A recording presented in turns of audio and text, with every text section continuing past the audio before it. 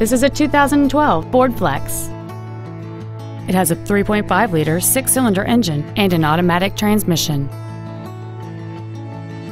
Its top features include heated front seats, a low tire pressure indicator, traction control and stability control systems, big 18 inch wheels, and satellite radio.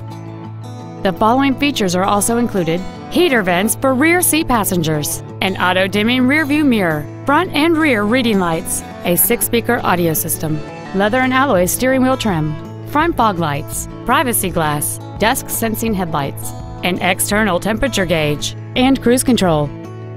Stop by today and test drive this vehicle for yourself. Akins Ford of Winder is dedicated to doing everything possible to ensure that the experience you have selecting your next vehicle is as pleasant as possible. We're located at 220 West May Street in Winder.